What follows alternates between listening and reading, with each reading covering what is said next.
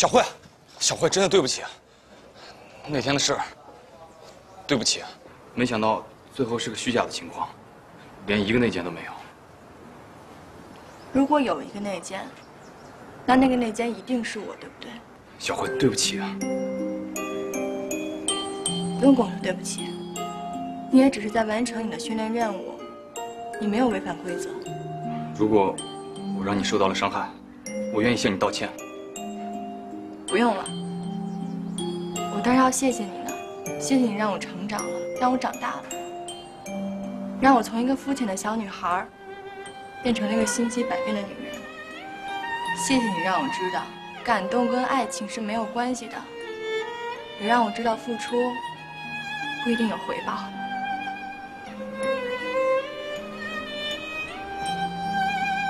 顾川，放弃了。我真的放弃了，祝你幸福。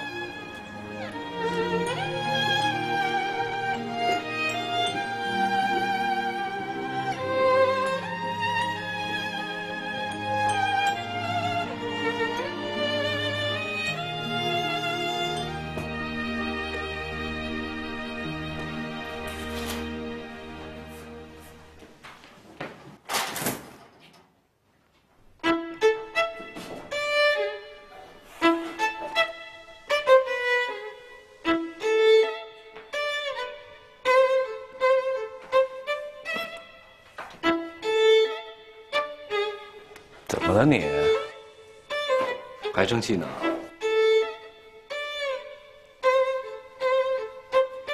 你别生气了，多大个事儿啊，是不是？哎，那哥们儿要搁以前，跟你有的一拼。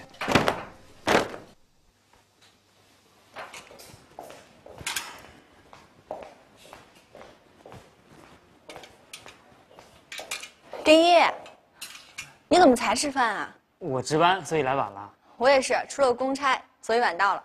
哎，小慧，那个炊事班给我留这么多菜，我也吃不完，你帮我吃点呗。行啊。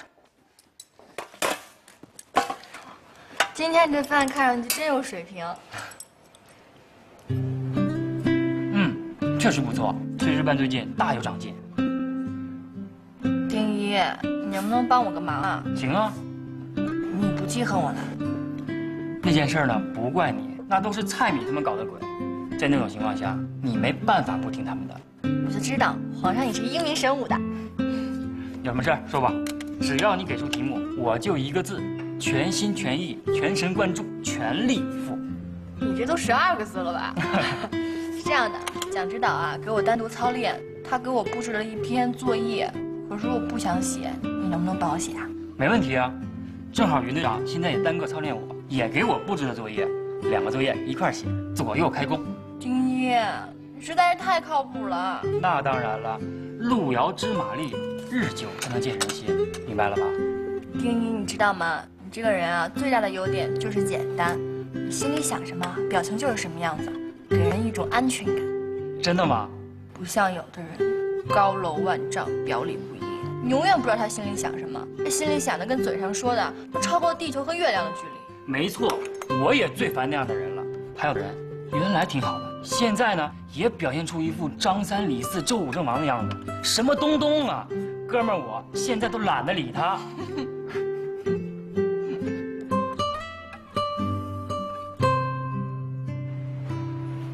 来了，分队长，我上次布置你的作业完成的怎么样了？完成了，而且完成的堪称完美。是吗？来来来，我看看啊。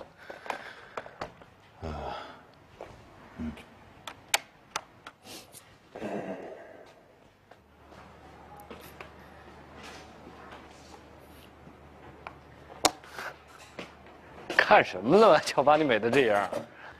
这事儿可不能告诉你啊！你要是知道了，肯定干坏事。你也太小瞧我的洞察力了。我猜猜啊，肯定是哪个师姐。你以为都像你呢？师姐杀手，不是师姐的话，就是哪个师妹。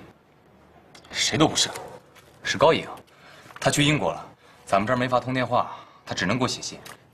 去英国了，怪不得最近消停。别这么说，他还没长大呢，再大几岁就好了。他说这是他有生以来写的第一封书信，之前都是发短信、发微信。有区别吗？太有区别了，这多有分量啊！我觉得都是一样的。你这是典型的羡慕、嫉妒、恨。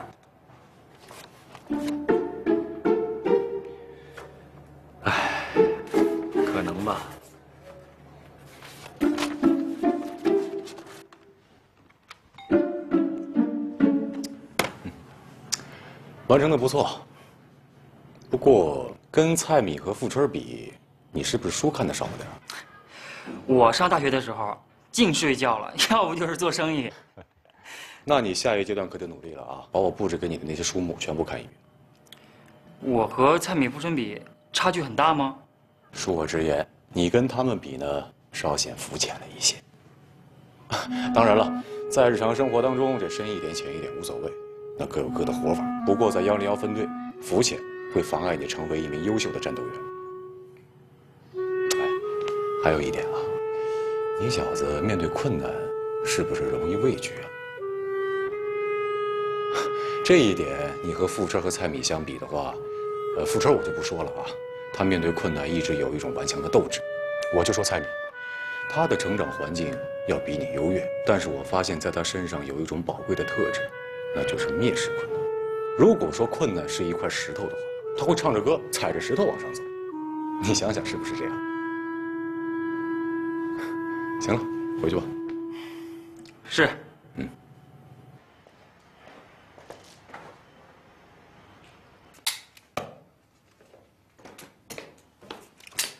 副队长，别玩了啊，快熄灯了。哎，好嘞。副招到，今天晚上你投班岗。是。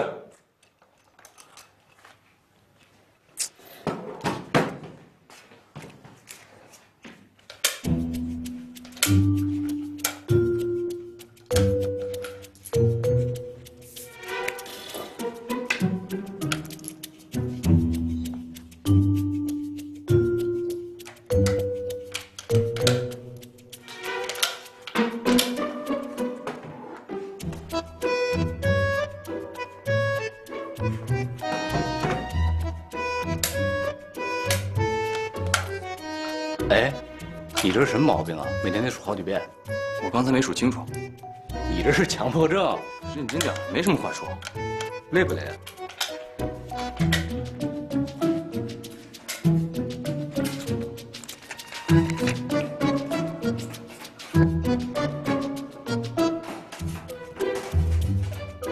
你又怎么了？每天单独操练，我真快受不了了。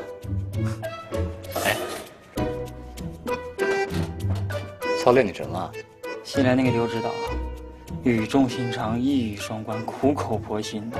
我原本以为我妈已经够唠叨了，没想到和她比起来，我妈就是这个世界上最沉默寡言的人。哎，我有一个办法可以结束你的单独操练生涯，什么办法？不过我有个条件，你说，你先回答我啊。你说领导为什么要操练你？这还用问吗？还不是被你们陷害的？你看，这就是问题所在啊！你的想法要是不改变的话，领导呢对你的操练是没完没了的。那我怎么改变他们对我的看法？哎，我问你啊，你觉不觉得君子健最近有点强迫症？人家是想好上加好，人家追求完美。他这个就是强迫症，我得修理他一下。你怎么修理他？我这个想法一个人完成不了，你必须跟我一起。等你把副车修理好了，领导一看，嚯，你丁一已经到达了这个境地了，还操练个什么劲儿啊？保证你以后再也不用听他们唠叨了。你是不是又忽悠我呀？这又是哪招啊？完了完了，你已经神经过敏了，不跟你说了。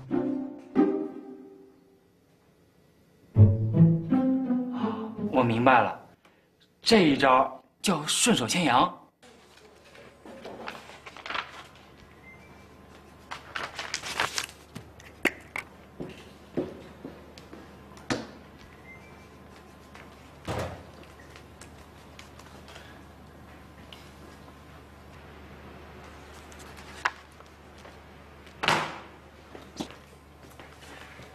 回去写好了，写好了，我一会儿邮回去。我帮你检查一下。凭什么呀？你给师姐打电话也没给我听一下。我这是为你好，我帮你检查一下有没有错别字。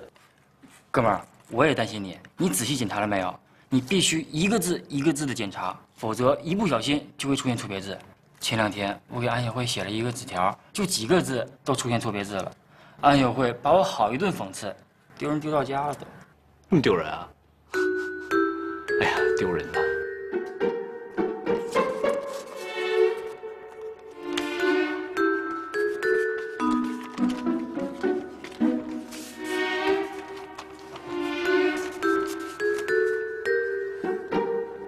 这个我拿手，我帮你捡。你休息。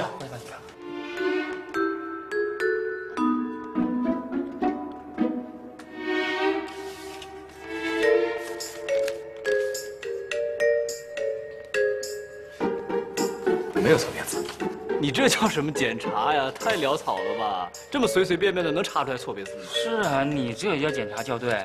人家校对的时候都是一个字一个字的过眼，还要把它念出来呢。你听我说啊，书上说，当年乾隆让纪晓岚编字典的时候，错一个字儿扣五两银子。哎，就这样，这又是圣旨又扣银子，还保不准有错别字。所以，哥们儿，我劝你再仔细检查一遍，万一出什么错，可没有后悔药可吃。哎，你看看吧。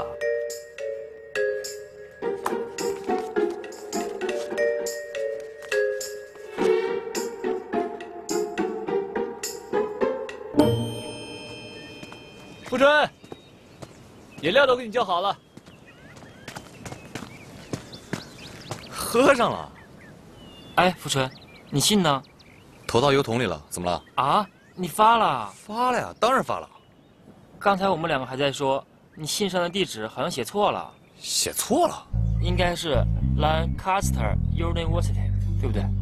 对啊，我就这么写的。不不不，你好像写的是 Lancaster University，写错了一个字母。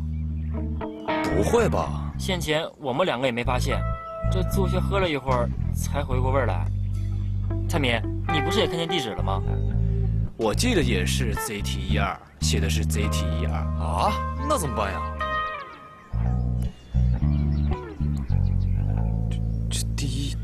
第一个信封肯定没错，这第二个信封也不应该有错啊。第三个信封，莫非我第三个信封写错了？你肯定写错了，我看得清清楚楚。应该是 ZT 一二，应该是。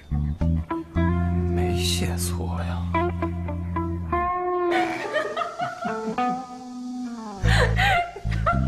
那他人呢？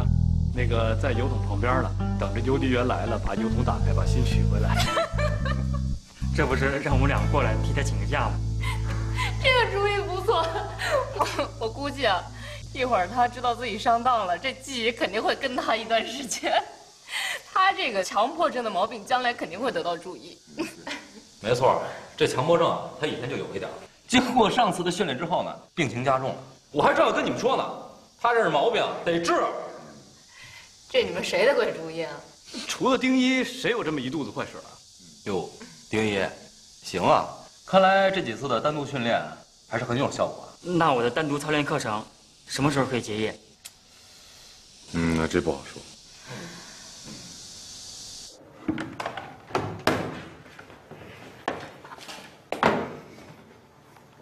今天可帮你出气了，君子剑被我们收拾的狼狈不堪，他就像被我们拴上了绳子，让他往哪走，他就往哪走。我对他的事儿不感兴趣，你不用跟我说了，不想听他的事儿了。其实我对他也不感兴趣，是蔡米拉着我的，蔡米是讨好我，借机向我道歉。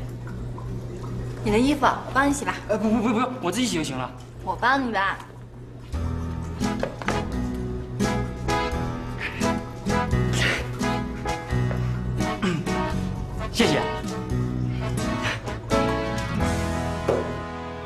人往这儿看，这片区域就是三号海区，这些星星点点的，就是七号群岛，大大小小加在一起有三十多个岛屿。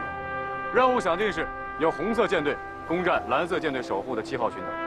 我们的任务有两个：第一，配合红色指挥部统一作战，实施心理干扰；第二，从你们中间选派二十名同志执行特别任务。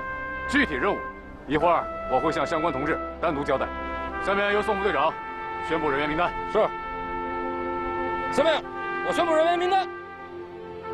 根据导演部的指示，从我们分队抽调你们二十名同志，组成特别部队，深入敌后，参加这一次彩虹一号作战计划。你们的代号是彩虹中队。蔡明到，任命你为彩虹中队队长。是。付春到，任命你为彩虹中队副队长。是。根据上级首长的指示，幺零幺分队的所有军官不得参加此次行动。也就是说，整个行动的过程是由你们自主完成的。我希望你们深切领会上级领导的作战意图，调动自己的全部智慧，团结全部同志，不许给我丢脸。听明白了吗？听明白这就是叶克岛，它位于七号群岛的北侧，距离主岛二十三公里，地理位置相对独立。岛上的守军是蓝色舰队的耶克岛大队。还有其他的配属部队，总兵力两千左右。他们的作战任务就是依靠强大的防守，拖延红色舰队对于七号群岛主岛攻击的速度。也就是说，现在这个耶克岛已经变成了七号群岛的桥头堡。你们的作战任务就是瓦解敌军的士气，削弱敌军斗志，策反敌军的主要军官。坐下吧。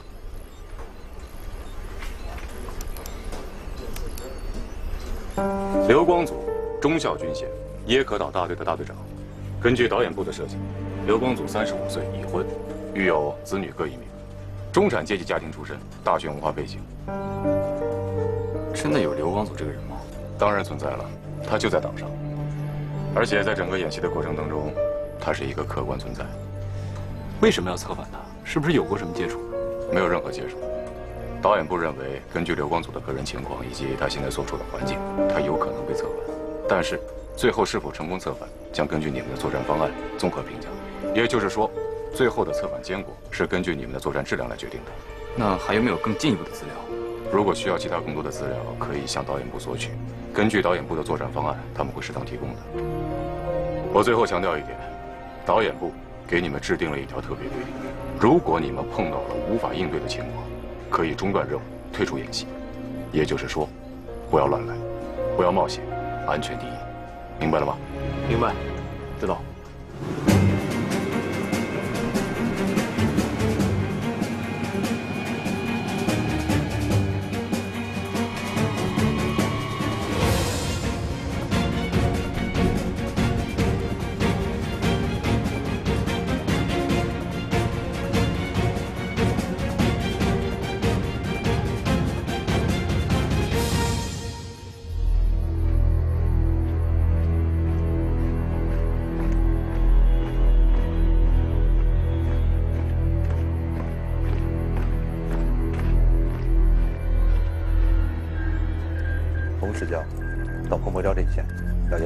大队长，蓝色舰队情报：幺幺零九号。红色舰队将于今晚派遣特别部队潜入叶克岛，任务不明，请密切关注。特别部队是，是不是特种兵？应该不是的。如果是特种兵，情报上直接就说了，不应该说成特别部队，从来没有这个说法。那是什么部队？先不管这些了，这都已经半夜了，情报这个时候才到，说不定那些人都已经上岛了。导演部有可能是故意的，先把这些人派上岛，然后才把情报下达给我们。导演部想干什么呀？这是。我们到叶克岛这么多天，还没遇见什么大的情况，说不定啊，这就是个开始了。记录命令。是。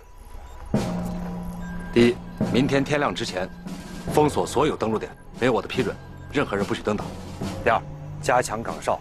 提高警惕，严阵以待，对所有人员严加盘查，绝不放过任何疑点。第三，第一中队和第二中队组成机动分队，由我亲自指挥。十分钟以后，指挥部门口集合。是。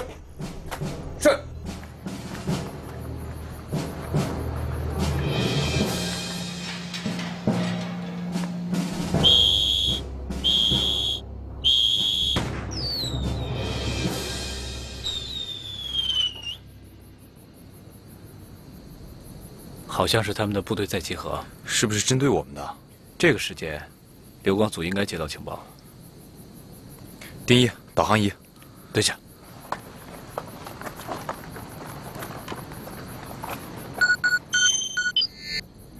没错，刘光组的指挥部就在那个方向。距离医疗队还有多远？不远了，只有三百多米。好，听我口令，出发。刘东少，隐蔽，隐蔽。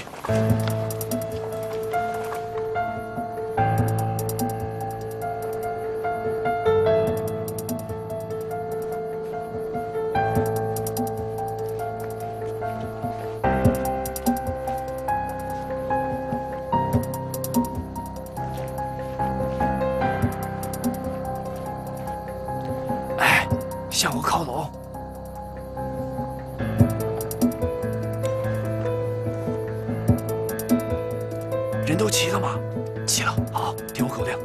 目标医疗队，出发。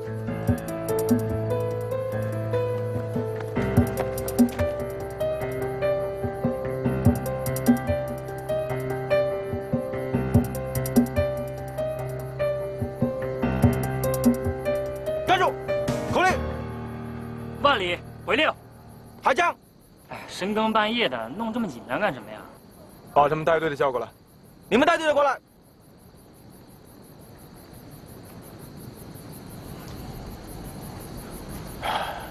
你们哪个单位的？我们是通信中心的，要到三号高地去。深更半夜的去三号高地干嘛？我们有命令啊，天亮之前一定要到三号高地开通全职。我们也有命令，对过往人员严格检查。我接到通知啊，说这个红色舰队的特种部队今天就要登陆叶口岛了。哎，你们也加点小心，万一让狗日的登陆了，我们也特别麻烦，是不是？谁跟你瞎说？叶克这巴掌大的地方，到处都是明哨暗哨，他们要是敢登岛，一锅端。还是你们牛。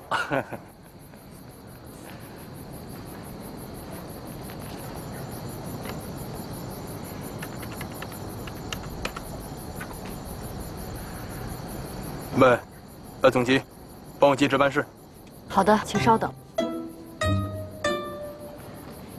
喂，你好。哎，值班室。啊，是，请问是哪位首长？什么首长？我是二号哨。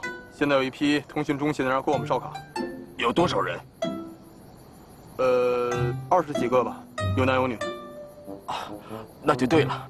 有这么回事儿，允许他们通过。嗯，明白。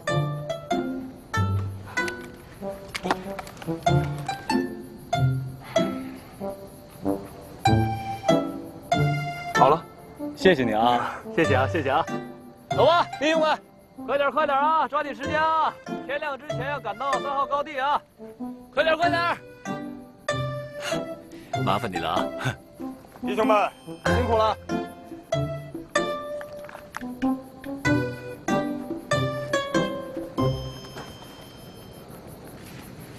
对对，两边四个，你们去那边看一下。你们三个去那边检查检查。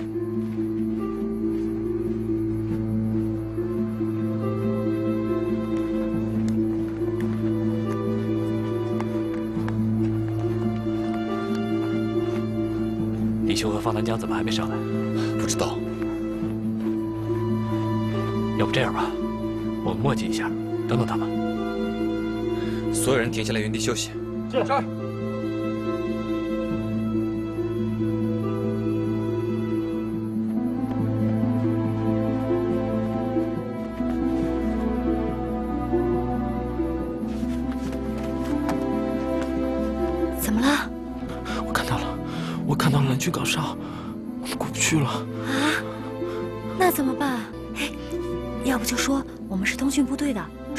线路。深更半夜，一个女兵和男兵查线，谁信呢？那怎么办呀？哎呀，你倒是想个办法呀！要是蔡女和付春在就好了，他们肯定有办法。那你去找他们去，我不要你了。哎，哎，方大江，哎呀，你别生气啊！方大江，等等我。肯定是出什么意外了，怎么办？这里是路口，经过的人太多了。我们如果在这等下去的话，肯定会出事儿。我们不能再等了。我们走吧。嗯。集合。听好了，不许东张西望，集中注意力，出发。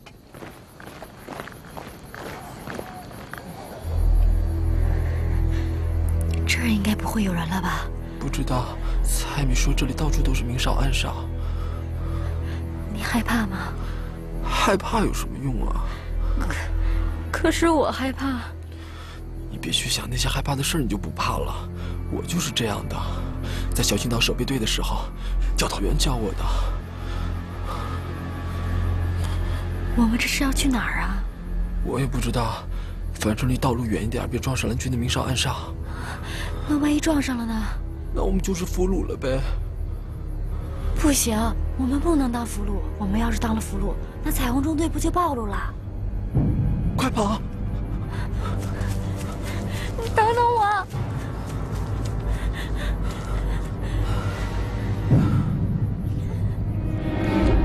你别害怕，他们没发现我们。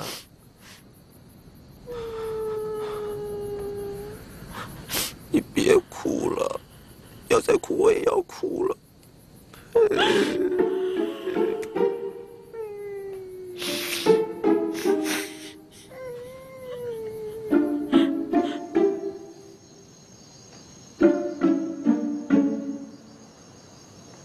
哎，你好，你们有事吗？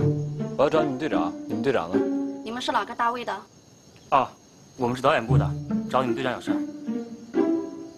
跟我来吧。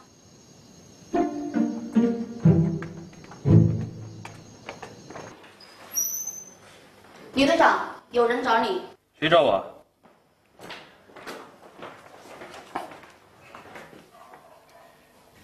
你好，我是导演部的。哎，这位姐姐，你别走，我们还有事儿跟你商量一下。您先在这坐会儿吧。你们到底是哪个单位的？想要干什么？领导，别着急，我们慢慢聊。请坐。哎，这位姐姐，你也坐。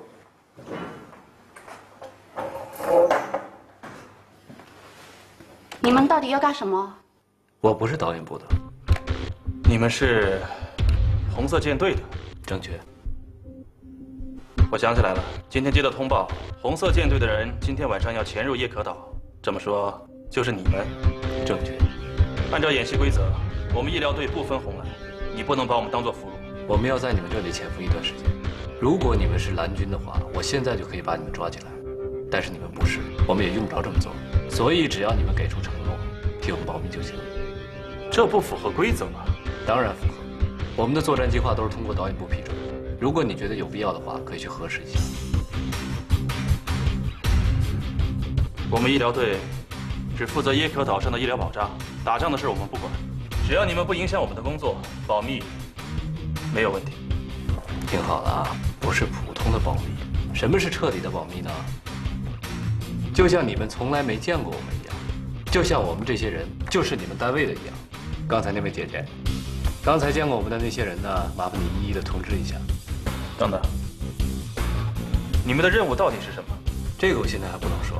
不过，如果是因为你们泄密导致了任务失败，由此带来的后果，你们就要自己承担。你放心，保密是没有问题的。但是我们不能配合你们的行动。你们不用配合，当我们是空气就好，看不见，摸不着。这符合规则吗？当然符合。如果现在是实战的话，我现在就能把你们抓起来，捆成一个大粽子，一个小粽子。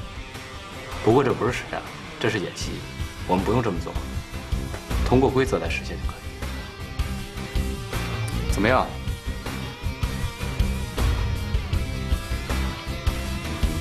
我明白了。刚才还有谁见过他们？你一个一个去通知，一定要保密，谁都不许告诉我。这是演习的一部分。是。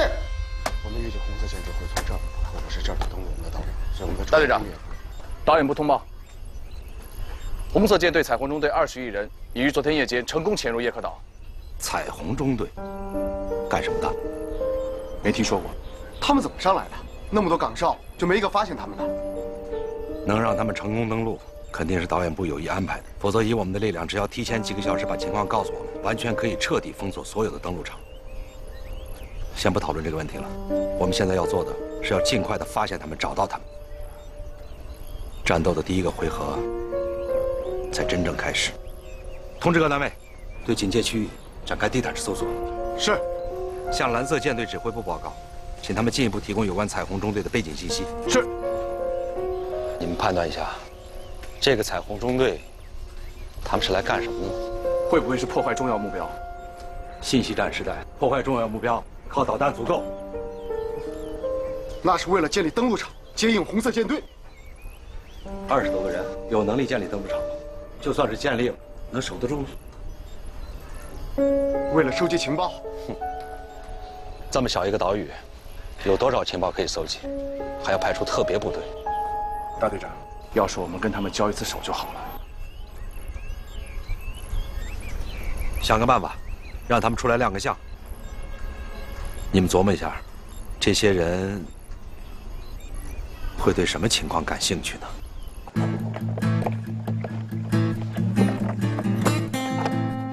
首长好，你们好，辛苦了。首长，我们已经住在这儿了，这里条件还不错。昨天晚上在登陆的过程当中呢，一共经历了明哨暗哨十多次，我们没费一枪一弹，全部顺利通过。还有李秋和方南江执行完任务之后，到现在还没有归队。报告完毕。需不需要通过演习规则寻找方南江和李秋？我觉得没有这个必要。这个岛不大，应该算安全。我想在下一步的战斗中，他们有可能归队。我同意你的观点。啊，对了，呃，我代表幺零幺全体指战员向你们表示亲切的慰问。同时，我要提醒你们，流光组已经开始全面搜索你们了。如果你们被抓住，将会以不及格的成绩光荣归队。放心吧，领导，他他们找不到我们的。听你这句话，你就已经开始轻敌了。说说下一步的作战计划吧。耶克岛守军指挥部就在这附近，离我们不远。我们打算去逛一下。目的是什么？进一步掌握和了解敌人的情况，然后有针对性的展开系列攻势，同时还可以安置宣传弹的定位器。想进入虎穴，小心别被老虎咬。放心吧，领导，老虎敢吃我吗？李队长来了。李队长，你好，干什么呢？正在跟后方联系。就这么通话呀？不怕被蓝色舰队方面监听？这是我们的专用平台。根据演习规则，蓝色舰队不能监听我们这个平台的所有活动。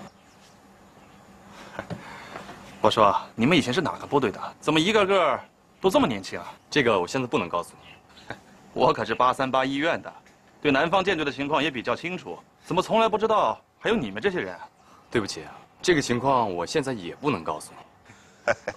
你们呐，一个个就跟天上掉下来的似的。队长啊，我有一个好消息要告诉你。哦，我们这些人呢，决定加入你们医疗队。什么意思？从今天开始，我们就是医疗队下属的防疫队。麻烦你借点白大褂啊、药水啊之类这些道具给我们。这不是让我配合你的行动吗？不是配合，是强迫。我们用各种各样的手段，特别的暴力。比方说，用这个手枪顶住你的脑门，用匕首卡住你的喉咙，还有用棍子抽你，用板砖拍你，等等等等，血腥极了。哼！当然了，还有最重要的一点，医疗队的伙食特别好。你们这些小兵，行，我去给你们准备。谢谢领导，谢谢领导。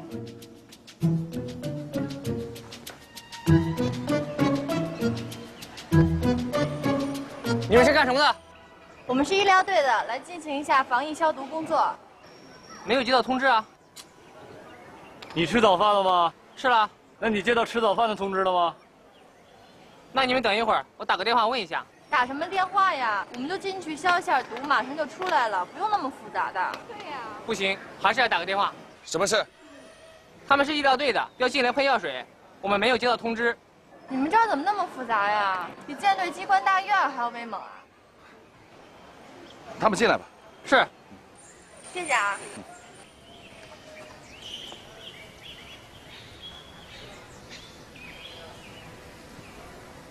刚才不好意思啊，现在是演习期间，戒备等级比较高，李姐万岁啊。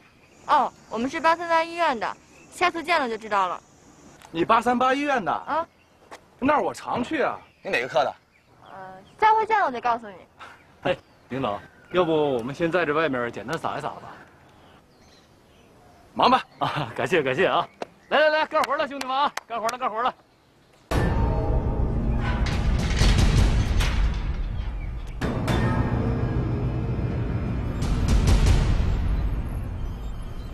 他们有多少人？呃，我没有看太清楚。不过大概有二十多个。呃，对了，还有几个女兵，有没有什么特征？特征年轻，特别年轻，就像是一堆新兵蛋子。军官呢？军官也很年轻。他们带头的那个是很年轻。哎，不对啊，之前我跟值班室打个电话核实过，不会错。他们在中间接断了电话，你的电话打他们那儿去了。他们带了什么装备？哦，呃，枪支，还有一些器械。大队长，这到底是一支什么部队啊？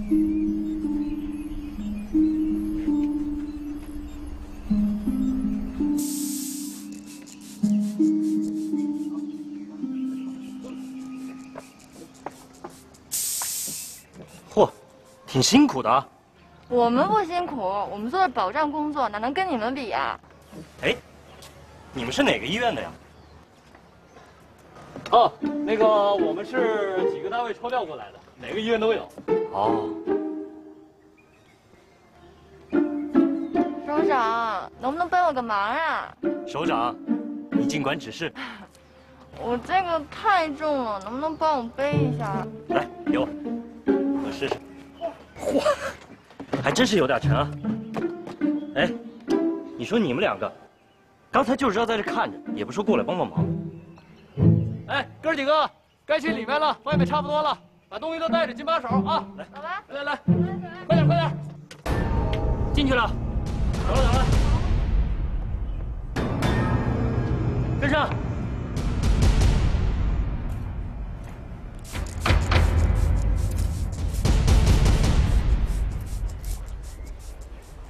哎，那个领导，那个红色舰队什么时候攻占叶克岛？啊，应该也就是这两三天吧。哎，那你能守住吗？这你就不懂了吧？在演习规则里啊，只要守住三天，我们的任务就算是完成了。可是坚守那么长时间啊，那你们能行吗？才三天时间，没什么问题。这一次我们在耶克岛周围布满了水，只要战斗一开始，光是排雷这一项就够他们忙个好几天的了。站住！啊，他们是防疫站，进去喷点药水。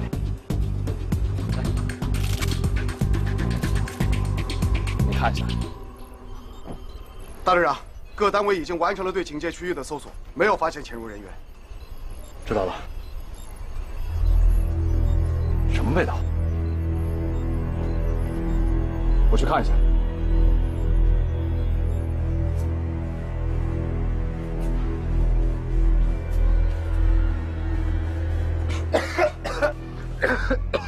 哎，兄弟姐妹，手下留情啊，手下留情！你们这喷的什么？这么大味道？哎，你放心吧，这个对身体没有任何危害的，就是一点醋酸，可以预防感冒的。啊，可以了，可以了，我觉得点到为止就行了。你们这就凯旋吧，好吧？要不留在我们这儿吃个饭？不用了，下次见面你再请我们吃饭吧。好，凯旋吧啊！谢谢啊。哎哎，行了行了，兄弟啊，可以了，走吧。我想到了一个办法，可以吸引他们出来亮个相。来，集中一下。反光识别袖标，我们有多少套？发配下来以后，我们还没用，总共有三百多个。够了，足够了。报告，导演部第九号通报，什么内容？红色舰队正向我耶克岛发起心理攻势。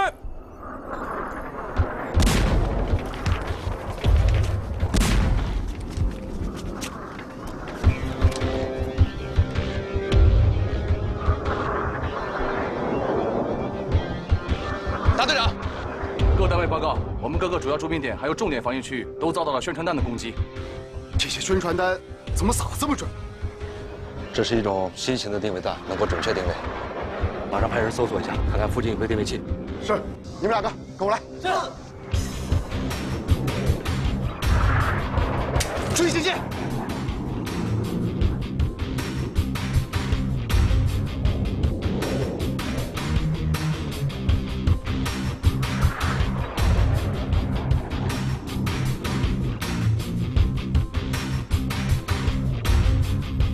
对蓝军的军事防御，我强大的红色舰队已经做好了一切战斗准备。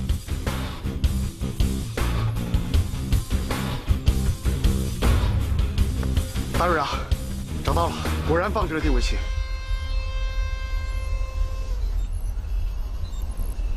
谁放的？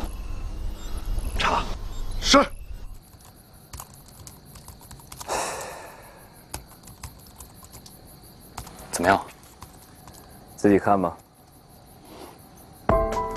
这个是分队长对我们这轮作业给出的总体评价。要是这样，这一轮作业又够呛。丁一回来了。明天晚上八点钟，他们准时召开战前誓师动员大会，地点这里。为什么会是晚上？为什么会在森林里？这个也好理解，耶克岛现在在我军的监视当中，他们不可能在光天化日之下举办大型集会，这样会遭到我军的军事打击。开会的时候，我们悄悄溜进去，然后当场散发宣传品，怎么样？肯定会吓他们一跳。有点意思啊！分队长说我们的作业平淡无奇，有了这个动作，我看他还能说什么？晚上开大会，他们肯定会防备着我们，肯定会戒备森严。戒备森严也没有用，开会的人那么多，谁认得谁呀？对，没错，还有很多小单位是从演习之前临时调过来的，不可能都认识。